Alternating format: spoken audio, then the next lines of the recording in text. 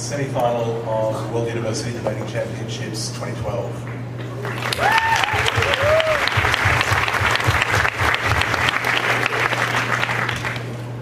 My name is Tim Mooney. I'll be chairing this adjudication panel. I'm joined by Cormac Early, Shamila Parmanand, Kamira Chetty, Adam Goldstein, Saika Islam, and Sean Briscoe on the panel.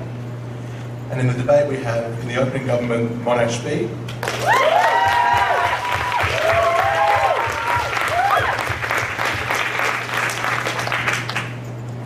In opening opposition, Oxford A.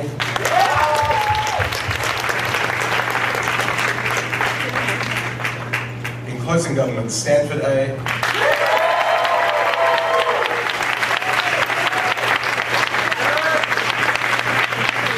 And in closing opposition, Oxford C.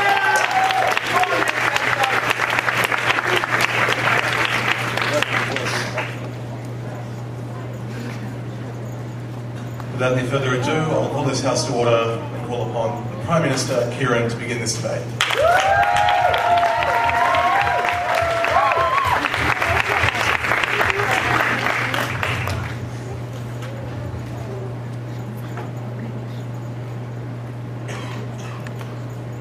Mr. Speaker, Monash B believes three key things in this debate. Number one, you should not have to see sexual imagery if you do not want to. Number two, children should not be exposed to sexual imagery without parental consent. And number three, there are better ways to regulate the status quo that exists currently. And that's our model. What are the kind of images that we're going to regulate differently? We're going to include in our definition all pornography. So all depictions of sex, all men, men's magazines, ladies and gentlemen, any form of advertising which relies on the sexualization of women and, and of men. and, and we're more than willing to entertain a debate about uh, images of Victor dancing seductively on the dance floor, when that counts as a sexual image. We believe all of these things should be confined, ladies and gentlemen, both to adult stores and to XXX sites. To get the XXX classification, ladies and gentlemen, we believe that websites will have to register and meet particular standards. If those standards are not met, those websites will be shut down. Moreover, any website which tries to display sexual imagery without meeting this, these state standards, without having this XXX classification, will be shut down under our model. We think it's a hell of a lot easier to do that once you have a clear uh, uh, differentiation between these different types of websites. Moreover, we believe that for people to access any of these images, they have to prove that they're over 18. We think that's pretty easy in the context both of an adult store and an XXX domain. And if these websites particularly fail to check, we will shut them down, ladies and gentlemen. Those mechanisms are much easier on our side. Two key arguments at Prime Minister. Number one, sexual imagery is different from other speech and should be regulated differently. Secondly, why our plan makes it easier to regulate some of the worst harms that occur under the status quo.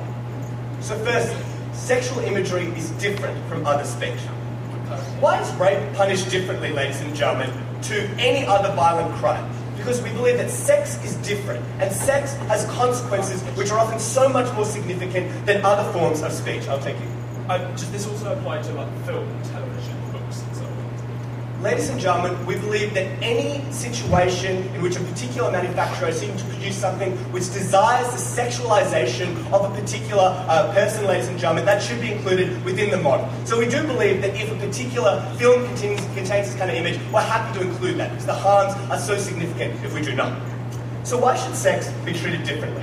We believe, ladies and gentlemen, sexual images have a unique potential to cause harm that many other forms of speech do not. Why is that?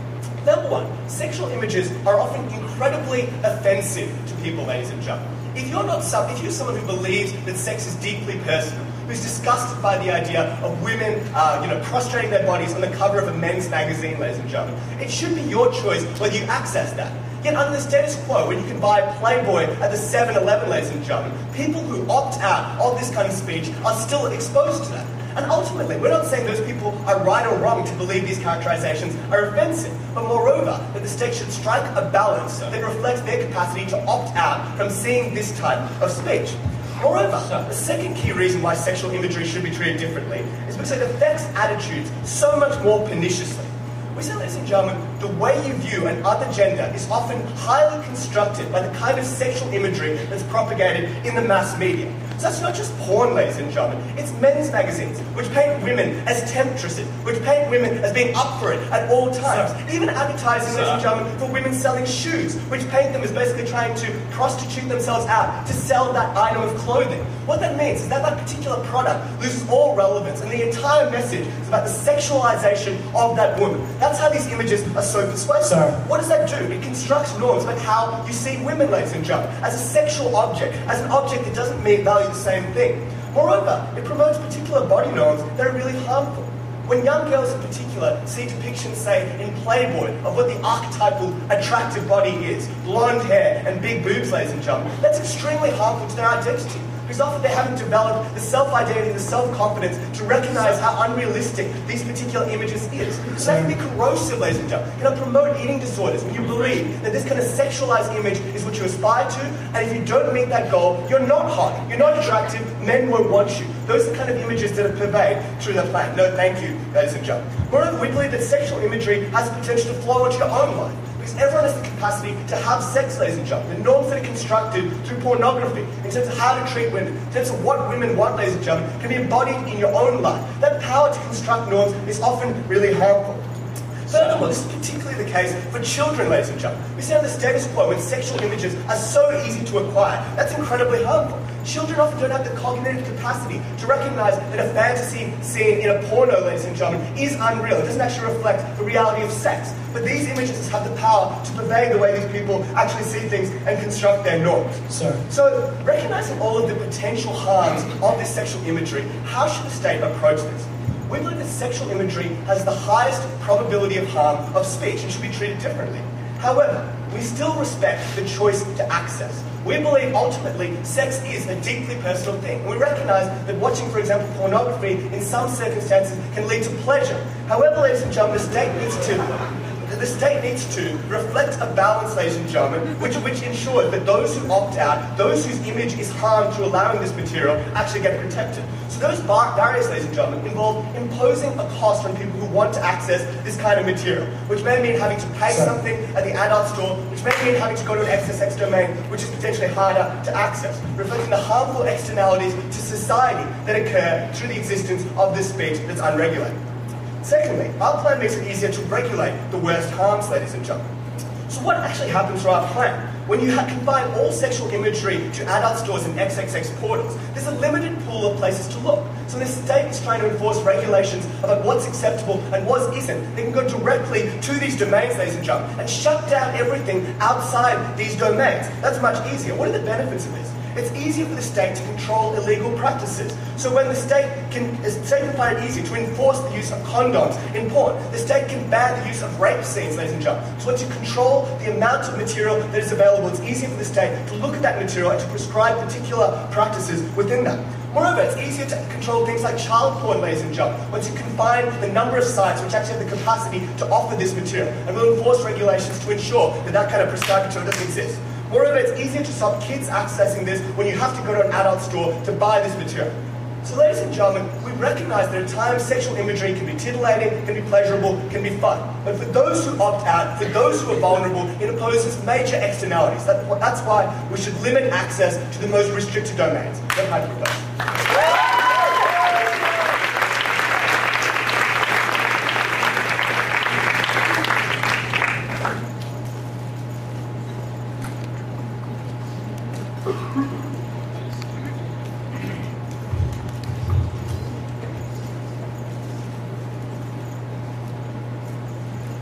I thank the Prime Minister for his speech and call upon the Leader of the Opposition, Ben, to begin the case of the Opposition.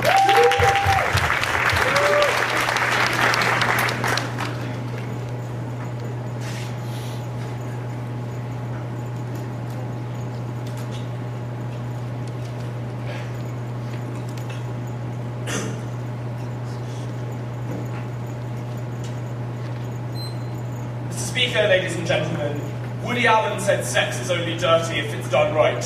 On opposition today, we're instead going to contend that sex can only be done right when it isn't made dirty by society, when it isn't pushed to the margins, and ultimately we can never transform the potentially harmful norms of sexuality that may exist today. Two points in opening opposition. Firstly, the importance of sex in the public sphere, why it's important for people people to be, being able to engage with their sexuality through images in public. Secondly, when this sets back transformative and minority sexualities. Before that, four points of rebuttal.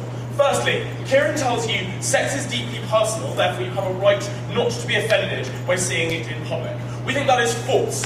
Many people are deeply offended by certain things that they have to see in the social world that is a consequence of living in a social world. Racists are uncomfortable watching interracial couples walk down the street holding hands. That doesn't mean they don't have a right to see them.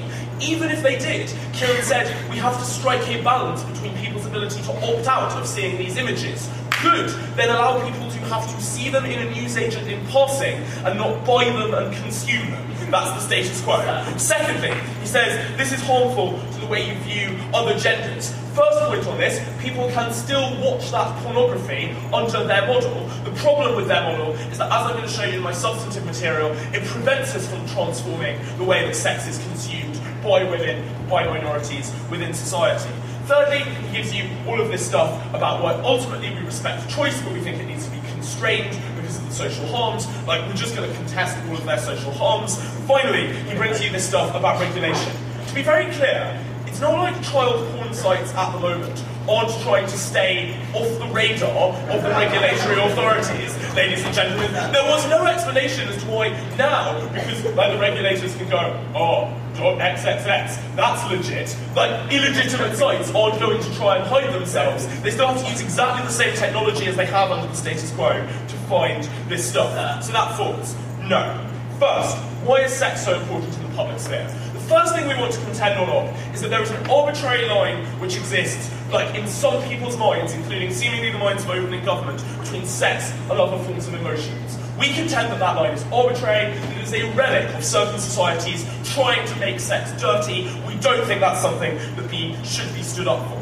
Why is that? Because ultimately, for many people, for the vast majority of people in society, some form of sexuality will form a vital part of their lived experience. We need to, and those people need to be able to engage with that in public. By the way, their policy requires an incredibly conservative form of line drawing under these things. Because anything that conceivably be slightly sexually attractive to somebody, like a magazine cover with a picture of somebody hot, potentially has to be outlawed under their model. Why does this policy shame people and stop them engaging with it in public? Well, firstly, because now having an interest in sex is something that requires you to go to something the state has labelled society has labelled dirty and wrong. In order to have any access to like alternative, interesting forms of sexuality, you have to go and sit in a weird adult shop with a fat old guy who's touching himself inappropriately.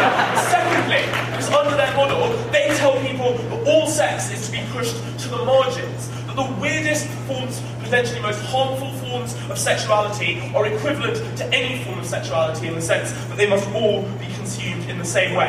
And thirdly, there's now less public discourse about sexuality under their model. I'll take Kieran in one second. Why are images so important to that? Because often, in order to start a conversation about sexuality, about what people find attractive or interesting, they need an image to pique their interest, to give them a moment of like a certain type of reaction that allows them to then create a conversation about those things. We think that's particularly damaging for women, where the best way to transform women's oppression by sexuality is to make them active consumers of sex. This is a policy which stops them doing that because women now like can't objectify men on magazine covers. We think it would be potentially very positive if they were able to do so to become consumers of sex. Kieran. And do you support people having sex in public? Okay,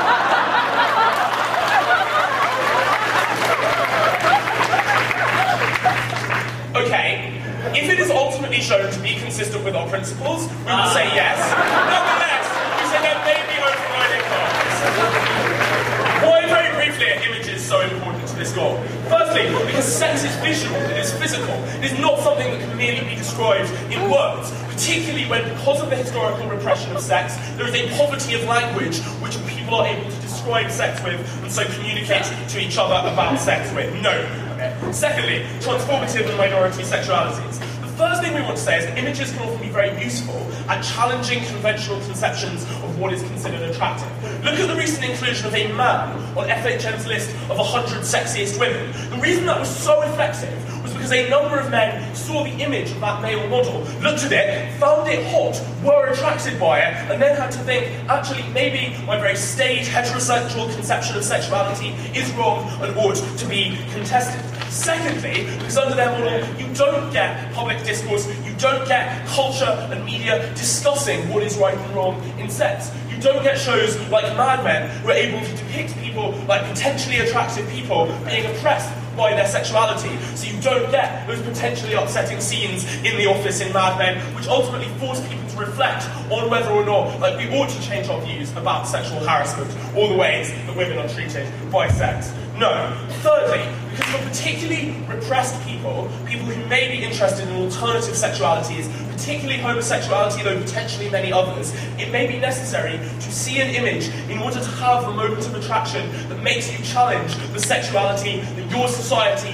told you is correct. We think the gay kid in Iowa who no longer is able to see a picture of two men kissing and find that attractive may never find out, or will certainly find it much more difficult to find out that they may be attracted to other men. That's incredibly damaging because ultimately it forces people to live in sexualities which are not their own.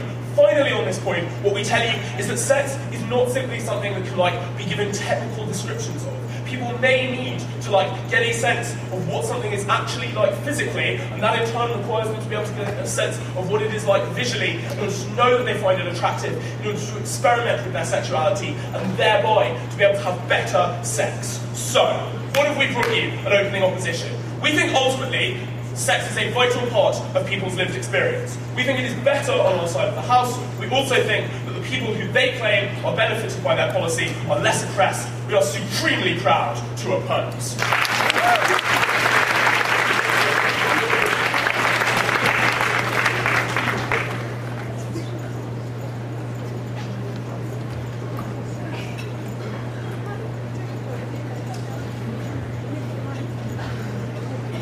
thank the Leader of the Opposition for his speech and call on the Deputy Prime Minister Ahmed to continue the case for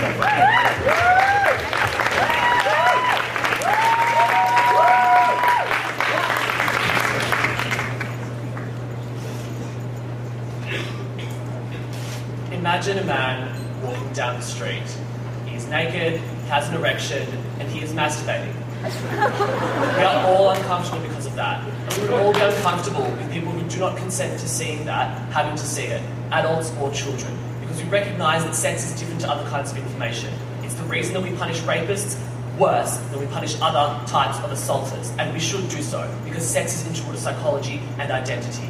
But the same reason that Ben took 30 seconds to answer my point of information is the same reason why we propose our model. People shouldn't see sex and sexual i- uh, things unless they want to and unless they and the state deems they are ready. The harms are too great otherwise. So, the first thing I want to look at is the net necessity of openness as the presumption of information release in this debate. Because Oxford has said to us that, well, some people don't like seeing some things. The status quo in society should be you see what you see. But we think that that is unfair to privilege the people who assume the most liberated conception of what they do and do not want to see and say that is the norm and everyone else must avert their eyes after it's too late. We think that when there is a clear mechanism upon which you can allow people choice to see the things they want, but also choice to not see the things they don't want, then we support doing so. The analogy that we received was, ah, some people are offended by interracial couples. Seeing an interracial couple doesn't tend to make a lot of girls hate their own bodies because of what Playboy tells you you look like. They are fundamentally disanalogous because one carries the risk of harm, which we think should be mitigated until you're over 18, have a clearer cognitive function, a better sense of self to gauge that against, and one is racism. We think that was lazy from Oxford. We also think, let's compare what actually happens to people's freedoms under the models. Under our model, if you want to see the sexy stuff in Mad Men, you can. Just have to walk into a store that right now is where that fat guy masturbates. But as I'm going to show you in my positive, won't be under our model because they're selling Mad Men now, which is like highbrow and stuff. if you want porn, you can get it on the .xxx website. You've got to be over 18 and be able to put it in a context. If you want to see some sexy movies, you've just got to go into a store to get it. Under our model, all of those freedoms are saved. But many people in, this, in society right now who are offended by depictions of sex will not be under our model. Many people who are made uncomfortable, and that is not an illegitimate experience, but one that we can protect them from, will be, have that discomfort diminished. And importantly, many people whose attitudes are subtly shaped not by the purchase of the Playboy, but by the existence of the Playboy everywhere they go so they know that's how they have to look, will be having that influence in their attitudes and the pressure on their lives diminished. We think that's important. Further on this point of openness, what we heard from Oxford was minorities in particular need the accidental depiction of sex in their lives. Number one, if you are gay, you can see a man and realise you're attracted to him without having to see him naked or engage in sex with another man. But number two, I think there are significant risks with hoping that young gay boys see pornography and learn from that how their bodies should look and how sex should look. Sorry if that got too personal. Second point of rebuttal the importance of images. We think that you can access the images that Ben was talking about under our model. So if you want to use them as a prompt for discussion, if you want to use them as a prop to consider your own sexuality, you absolutely will. Because when you walk into our adult stores, which are created under our model, which will actually be adult stores, not porn stores, they will just be stores for adults because you can buy everything there. Porn and Mad Men and any film that contains nipple in it will all be in the one place, right? When you go there, then you can have those same experiences where maybe you consider those other alternatives. But we'd much rather guarantee that people are looking for something with nudity when they find that. We'd much rather guarantee that people are willing to accept some sex coming into their face when they we think, we think that the harms that Oxford pointed out was you need to see an image to trigger certain discussions. What that presumes is you need to see sex without your consent in order to change who you are. They hope for the better.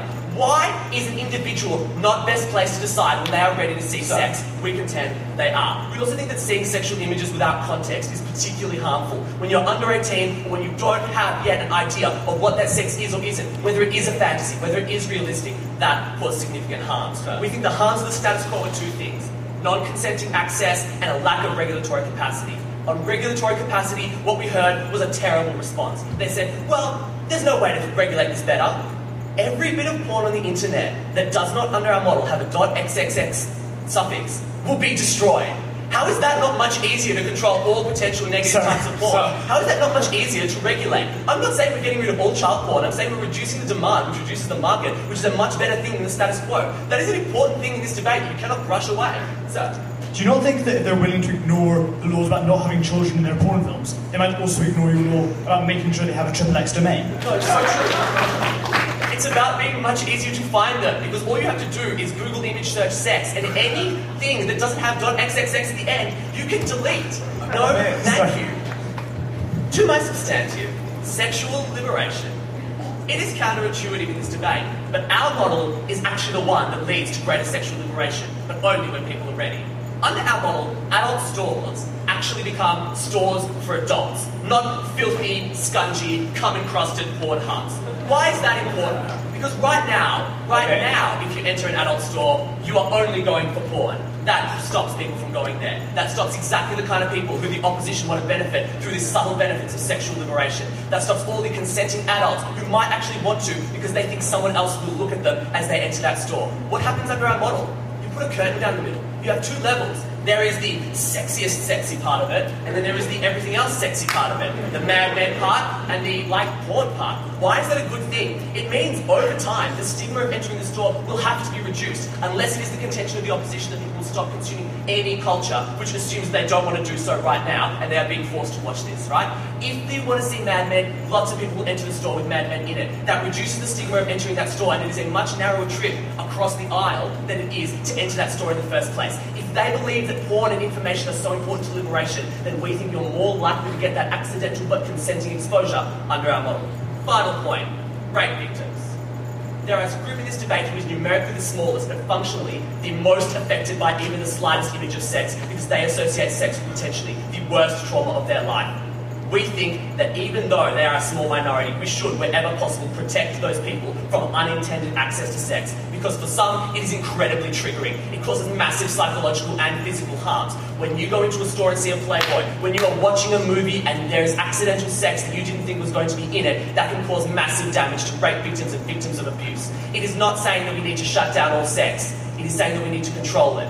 We think that non-consenting people shouldn't have sex thrust in their face, but if people want it, they're more likely to get it under our model.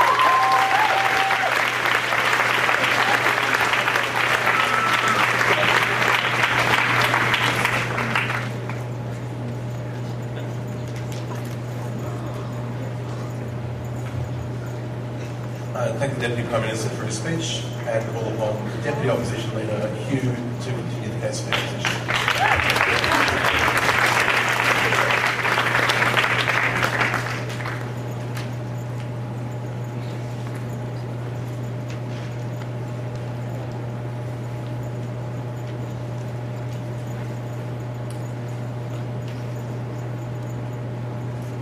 Okay, guys, uh, two more points. Firstly, I'm going to take a look at the idea of art and culture, and secondly, I'm going to take a look at the idea uh, of the- people who work in these sectors. Before that, quite a lot of rebuttal. So they tell you, they begin with this example of someone with an erection standing in public and masturbating. And while it's true that Ben took a while to get back to the point of information, his answer, um, you know, the answer he should have given, and ultimately did give, was yes. We do think that you need some sort of substantive justification to restrict people's liberty to offend you. It is not just the case that you can say sex is offensive because I don't like it and restrict people as a result. Why is this? Well, we tell you that like people who are offended, for example, by interracial uh, couples may be harmed emotionally or psychologically or whatever by seeing that. People who've been in wars may feel incredibly disturbed by movies about war or by the reporting of wars in the international sphere. People are constantly um, people are constantly in danger of seeing something that may, to some extent, offend. That is not under this, um, in, in, modern society a standard by which we automatically impose these sorts of restrictions. We think you need some sort of reason why it's wrong for me to want to celebrate my sexuality and want to do that in a way that brings a visceral connection to other people in order to restrict my ability to do that. They say, oh, well, you can just have all the same amount. No, thank you. Can have all the same amount of Mad Men as you could under the status quo. A few things. Firstly, a lot of your benefits were premised on the idea that this would reduce, no thank you, the norms that are propagated by these sorts of by these sorts of, um, of cultural emanations. So presumably there's like less Mad Men in your policy, otherwise the whole debate's a bit of a wash. Um, which presumably means Op wins. No, thank you. Um, oh no. Okay, well we also have harms. Um, like, and what we tell you is that very simply, like, if it's hard, if like, if fewer people see things in the newsagent, they're less profitable. If fewer people see things advertised on television, they're less profitable. If fewer people are like, if people have to pay a subscription, pay more money to access these things. If you advertisers can't use it, no, thank you. If people can't distribute it for free, it's less profitable. So all of these things go down. So all of our harms resurface in the debate. Let's continue to assume this policy has effects.